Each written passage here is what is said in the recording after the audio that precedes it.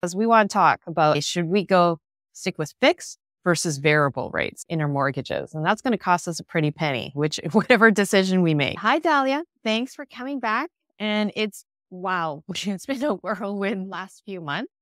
And Bank Canada is holding rates based on your expertise and guiding a lot of your clients in this mortgage space when it comes to financing their rental properties, their multifamilies.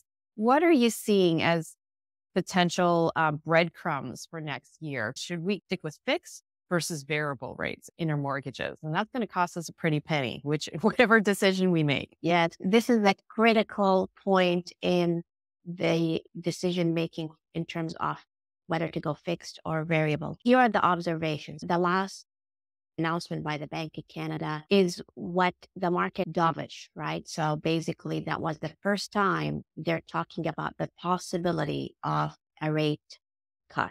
However, they always leave the doors open for future increases because it's all based on the data. As the data comes, the bank goes, oh, it's moving in the right direction, or no, it's not. And we're should we wait and see or should we do something about it? But this last meeting, the tone was a little different. And that was, that is hopeful.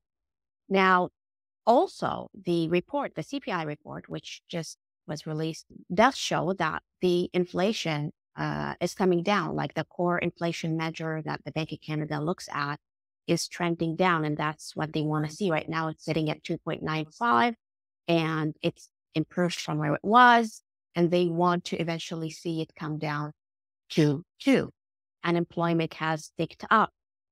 There are indicators that we are in a technical recession right now. So all of the indicators are showing that what the Bank of Canada did aggressively over these six months where the rates were climbing up like crazy is actually starting to work. There is a tone that, okay, there is a, a potential rate cut around the corner. How close it is, what's not clear.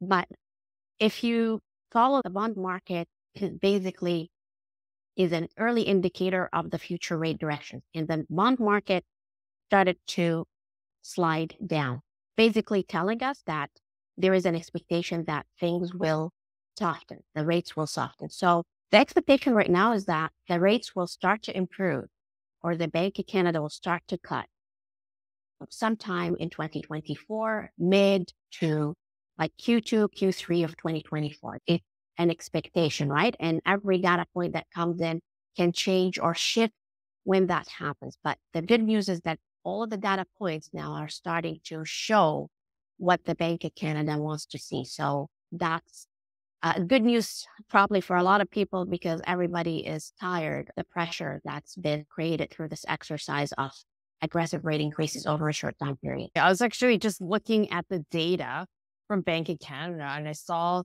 one surprise, not surprising, but a little bit surprising. But as the inflation is going down, but then the growth in employment is shrinking, and that's all showing it was from like a 3.3, 4.0, and then now it's dropped to 1.5% annualized rate. So that's showing the aggressive interest rate increases is also slowing. Now everyone's got to tighten their belts, businesses got to tighten their belts. That means cost cutting measures. That means less positions out in the market, which is causing the squeeze, which is why you're saying it could be we're in a technical recession even right now because the data is like past. We're looking at the past, and right now we're all facing that.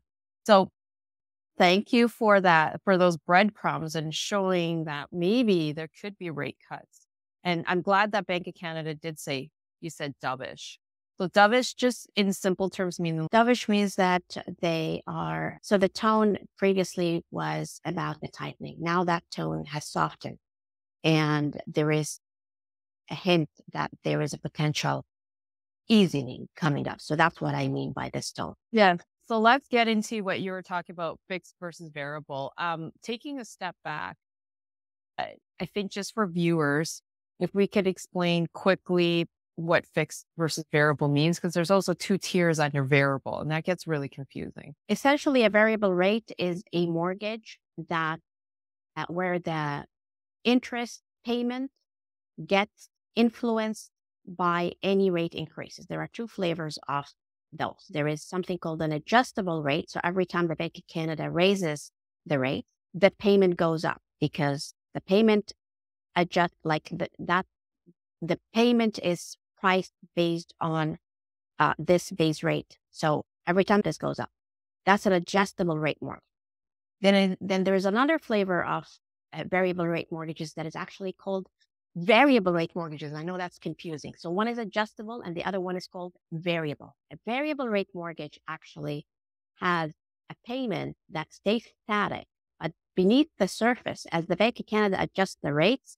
So give you an example, we've seen amortizations at 60 and 70 years for some clients, for clients who are holding variable rates, because what happened is their payment stayed the same, the rate kept going up. And in order for the payment to remain fixed, with more going towards interest, the life of the mortgage started to extend longer and longer. And this is where some amortizations turn to 60 and 70 years. Fixed rate is you get a mortgage, the payment doesn't change, nothing changes, regardless of what the Bank of Canada does.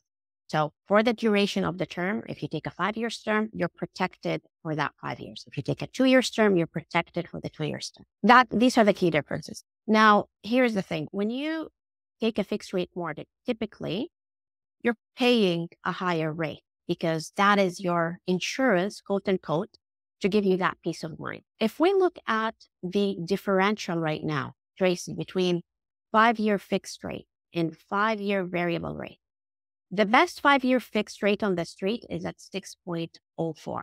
Okay. You may get something a little cheaper than that sometimes because lenders sometimes go out with promotions to, to buy market share, but it's 6.04. Okay. On a five year fixed. Five years variable is at 6.40. So if you take the difference, that is less than 40 points difference. So the question, is it worth your while to pay 40 points difference between a fixed and a variable for the peace of mind it's going to give you over the next five years? And the answer right now is no, it's not. Because the expectation is that there will be a rate cut on the horizon sometime in 2024. And even if that rate cut shifts, let's say to September or later in the year, uh, the simulation is showing that you're better off uh, taking a variable right now. This is the time where variable is actually winning in terms of numbers over a five years fix, over a one year fix, over a two years fix and that's numbers crunching. But I do have here a sheet we, where, where we run scenarios. Six months ago, the story was different. Okay. The story was different. It was take a one year fix so that we're not sure if there's going to be a cut, not a cut. The data wasn't coming in as consistent. So if you want to play it safe, take a one year fix this way, or maybe a two year fix this way. You're protecting yourself and then when things start to improve, you're writing down that slide. You can pick a new term and write down that reduction slide. Right now, variable is winning. Having said that, I always say everybody's situation is different. Even if I sit here and say, oh, go variable, go fixed, everybody's situation is different. And if if you can't sleep at night, doesn't matter what I say here, then let's look at a one year fixed or a two year fixed. But the situation you don't want to be in is to go lock into a five year fixed, knowing that something is going to happen soonish, not today, not tomorrow, but during that five year term, something is going to happen that will bring the rates down. And then your payment will be locked up here. And you'll be sitting hearing about the market improving and the payment will be locked here. And in order for you to benefit from a lower payment, you have to break it and that's going to be expensive. Oh, yeah. I have a story for you.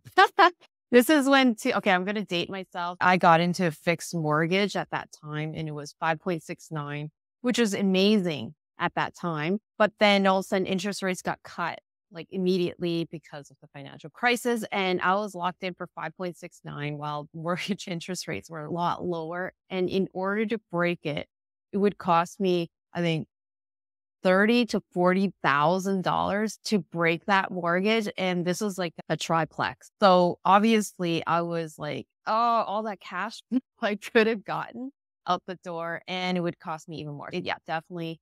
That's why you are here, Dalia, to help people to avoid that situation. Back then, I didn't even know you, Dalia. So you could have helped me avoided that situation, but you weren't around at that time. So I think this is a good segue.